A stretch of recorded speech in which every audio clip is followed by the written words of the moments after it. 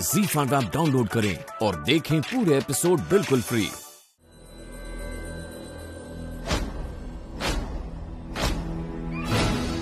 Sorry शांति जी दरअसल वो show देखने की हड़बड़ी में थाली गिर गई। लो फिर और सुन लो। तुम्हारी तो खाली थाली गिरी और यहाँ तो पूरा एपिसोड निकल गया ना। मधुरिमा की नंद और जेठानी का डीएनए टेस्ट वाला पूरा सीन निकल गया हमारा। सकीना कह रही थी कि वही सीन सबसे ज़्यादा जोरदार था। अरे तो जोरदार तो होगा ही। टेलीविज़न का एक नंबर शो है। हमने खुद शांति जी जब से देखना शुरू किया है थोड़ा सा भी नहीं छोड़ा है। अब आप गुस्सा छोड़ दीजिए। अरे कल सवेरे रिपीट टेलीकास्ट देख लीजिएगा फ्री तो रहती हैं आप। छोड़ेंगे लेकिन जब तुम हमें अशोक की तरह मनाओगे। अशोक की तरह? हमारे अलावा भी आपको कोई मनाता है? अरे भैया हम मधुरिमा के पति अशोक की बात कर रहे हैं। अच्छा वो। सॉरी भूल गए थे।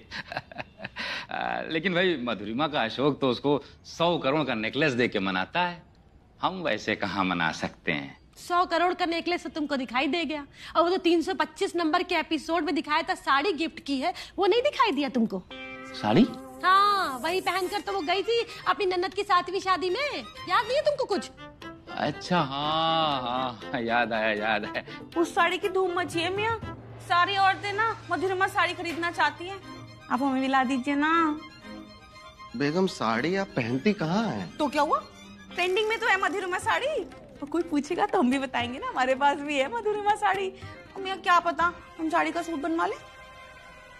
हाँ, ये भी सही है। ठीक है शांति जी। अ, लेकिन ये मिलेगी कहाँ? लो फिर और सुन लो।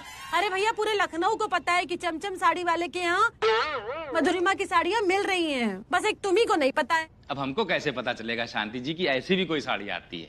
क्यों? सीरियल तो मतलब बड़े चाव से देखते हो।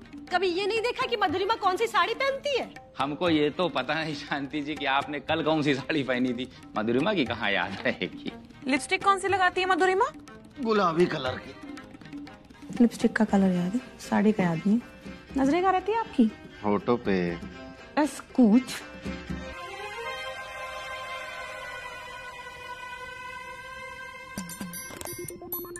मधुरिमा हमारी फेवरेट है इसलिए आज जाने देते हैं मियाँ।